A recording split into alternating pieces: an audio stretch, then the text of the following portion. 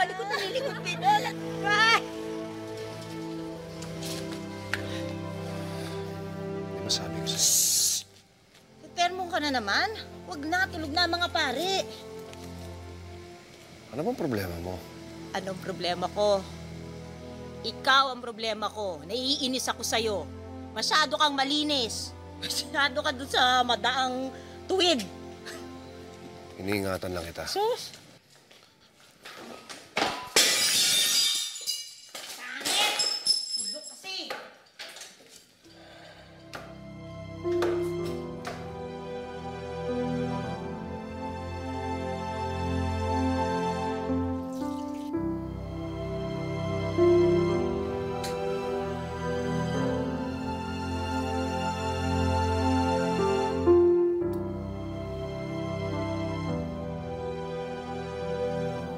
Susunduin ka ng driver at exactly 8 p.m. Ngayon, kung mapapaaga ka ng uwi, tumawag ka lang.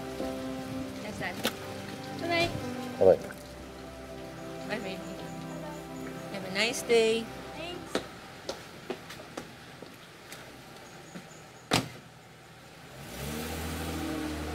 Manang, bakit wala yung kotse ni Eros? Ay, maaga hong umalis. Tawagin ko lang yung driver ni sir.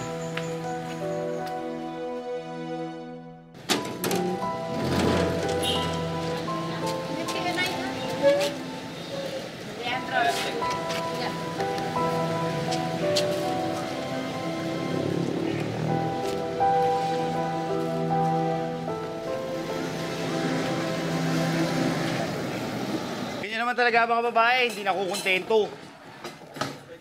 Miss ko nga eh, aga-aga, dakdak ng dakdak eh. Minsan nga naisip ko gusto ko ng bibig eh.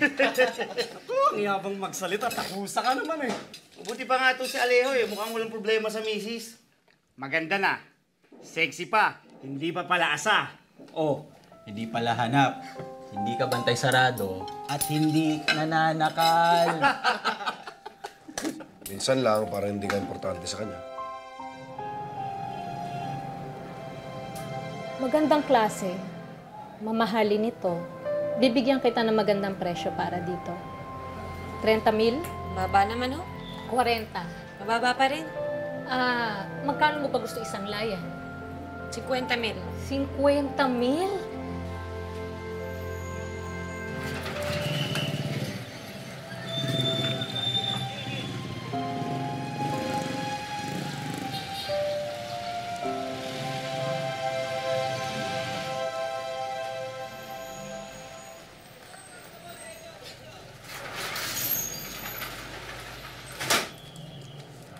Magkano yan? Hindi ko ito binibenta. Kasasangla lang ho. Alam ko. Yan ang mga singsing ng asawa ko. Abangan nyo na lang sa subasta. I'll give you 100,000 for it. Hindi nga ho, sir. 200.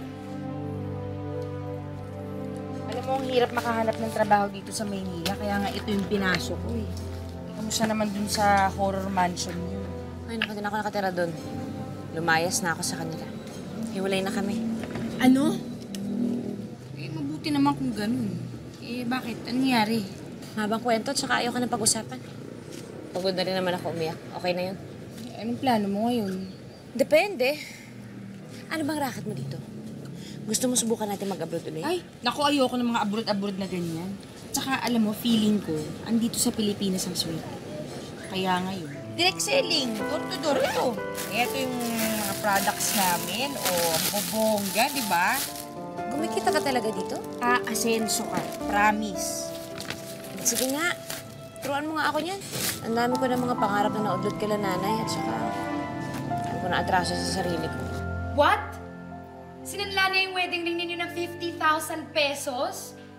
Hindi ba niya alam na halos kalahating milyon ang halaga niya na? Galit lang si Nisa na yun. I don't think so.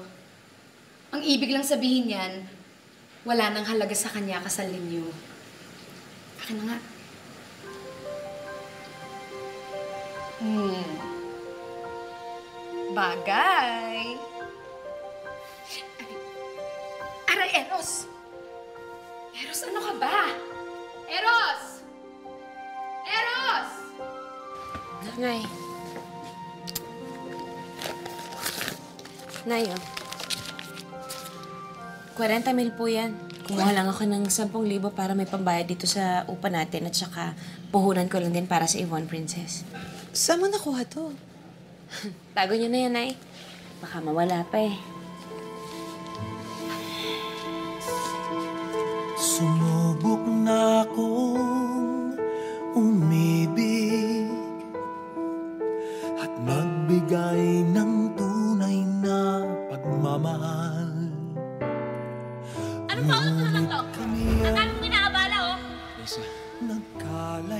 Marry me, Anissa.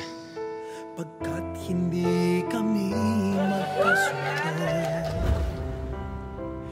Heto ka Sinanla niya yung wedding ring ninyo ng 50,000 pesos? Galit lang si Anissa na yun. Ang ibig lang sabihin yan, wala nang halaga sa kanya kasal ninyo. magtatagal Paano ba ang dapat